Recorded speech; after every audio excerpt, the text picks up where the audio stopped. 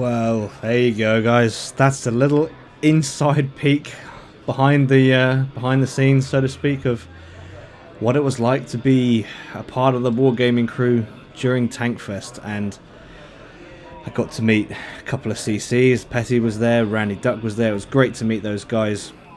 Didn't get any footage, but I did say hello briefly to uh, Dave GM. I was playing a game uh, it may have been this game actually. I think Dave arrived behind me, so I just had to quickly sort of wave behind me and say hello.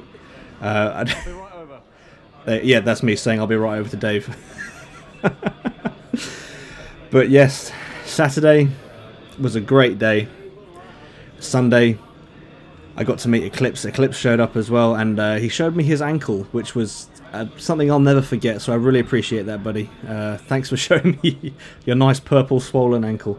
I do hope it's recovered now, but yeah, this is this is about as good as I could get for capturing footage at World of Ta uh, World of Tanks. Jeez, listen to me.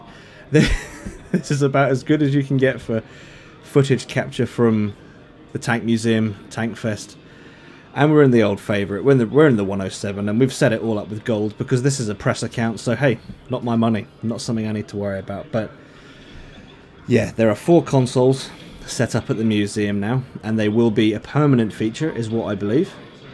So if you are at the museum, just be sure to stop by the gaming section as you see it here. Blitz is to the wall. On the other side of the wall on my right is Blitz. They have four uh, what look like, I don't think they're iPads, I think they're other other kind of touchpad or, or, or whatnot. They have four of those, console has four consoles, and PC, this, the area for PC is pretty much the same as it's always been. It's not changed really. So yeah, this is the first year that console, Blitz, and PC were all at the museum for Tankfest at the same time. It was quite an event, and there were some fairly, well, no, not fairly. There were some big players from Wargaming there. CEO of Wargaming was there, so yeah, you can't get much higher than that. So from a Wargaming point of view, this was a massive deal, a massive, massive deal, and something that I was particularly uh, honoured to, to be a part of. Really, was I was a part of the console crew for what felt like four days, and honestly, that was an absolutely fantastic experience. I cannot thank Wargaming enough for inviting to, inviting me to this event I've, I've always wanted to go to Tank Fest. I was saying to my wife earlier this year that it would be great one day if I could go to Tank Fest. And I kid you not, a week later after saying that to her, Chris wrote me and said, Hey, are you free? I said yes. And well, it all, the rest, you know, rest is history, as they say. And I, I went to Tank Fest for not just one day or two days, I was there for a full three days three and a half days actually because I arrived on Thursday afternoon and yeah it was an absolute blast. And it really was a privilege not only to spend the sort of workday time museum time opening time tankfest time with these guys but to sit down with the console crew and talk to them over you know sit down with them in a pub and just have a meal with them and just talk just just talk the game over you know I I had I did record a lot of the conversation that we had with the GoPro that I had, but obviously I didn't take it with me. you don't take it into a pub, do you? so not everything was recorded, but the conversation about the game was it was really eye-opening to me and one thing that I sort of feel the need to pass on is that you know we tend to see wargaming as just a, a business entity, and we can forget that there are people.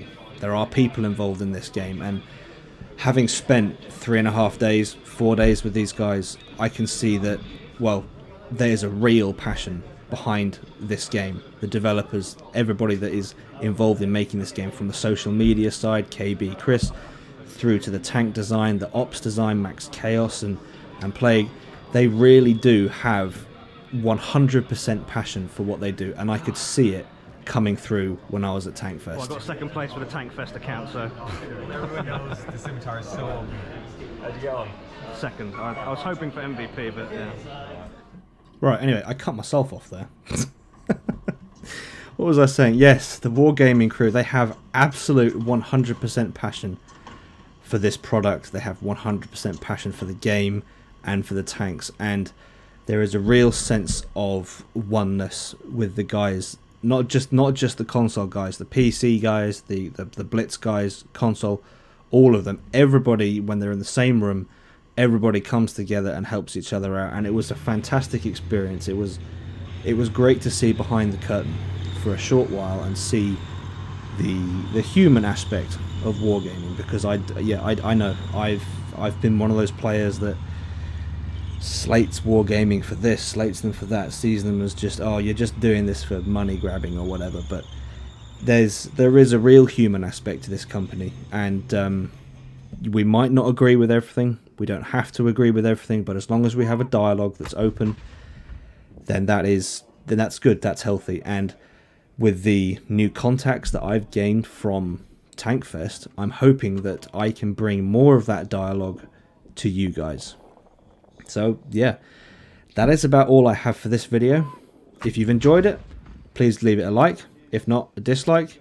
Subscribe if you haven't already. And I'm going to do something different now. I'm going to leave you with some entertainment from our community manager. Catch you next time. La la la la la la la la la ha ha ha ha ha. Never gonna give you up, never gonna let you down, never gonna run around, hurt you. Get rickrolled, Ricky.